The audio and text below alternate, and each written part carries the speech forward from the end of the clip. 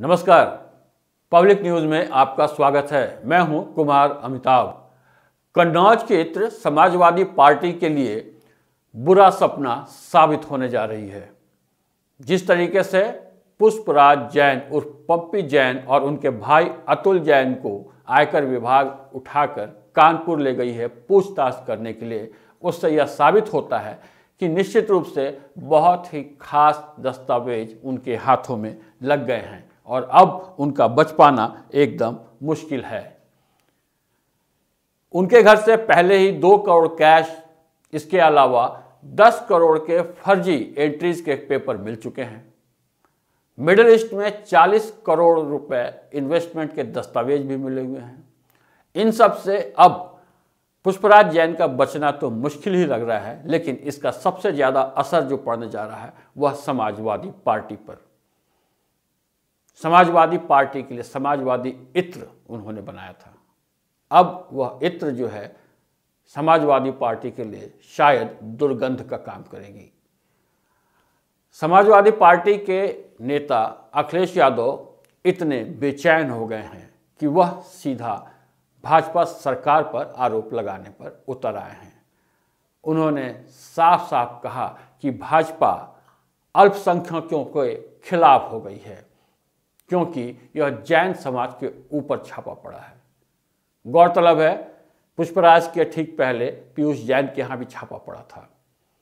पहले तो समाजवादी पार्टी को लगा कि यह कोई तुक्का है, लेकिन उसके बाद दोबारा छापा पड़ा तो यह बिलबिला पड़े। पीयूष जैन के यहाँ छापा पड़ा तो उल्टे भाजपा के ऊपर आरोप लगाया गया कि पीयूष जैन तो भाजपा के आदमी है। अब पुष्पराज जैन सपा के एमएलसी ठहरे। इनसे कैसे पिंड छुड़ाया जाए? हो सकता है कि पूछताछ के बाद अखिलेश यादव को भी पूछताछ के लिए बुलाया जा सकता है। इसका असर सपा के चुनाव पर पड़ेगा। अखिलेश यादव अब मुखर होकर के भाजपा के विरोध पर उतारू हो गए हैं।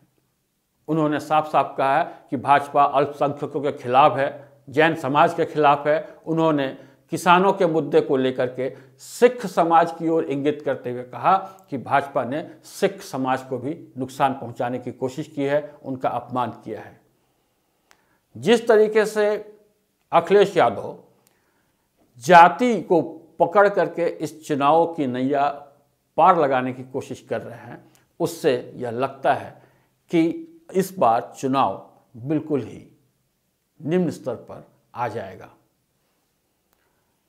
जातिगत आधार पर चुनाव को, चुनाव का प्रचार करना सभी जानते हैं कि इसकी मनाही है। लेकिन अखिलेश यादव बार बार ब्राह्मण समाज को मनाने के लिए उन्होंने अभी एक परशुराम की मूर्ति का उद्घाटन किया था। जैन समाज को अब वो अलग से निकाल करके उसके खिलाफ भाजपा को बता रहे हैं, सिख समाज को अलग करके बता रहे हैं। इससे ऐसा लगता है कि चुनाव का मंजर ही बिल्कुल निम्न स्तर पर चला जाएगा।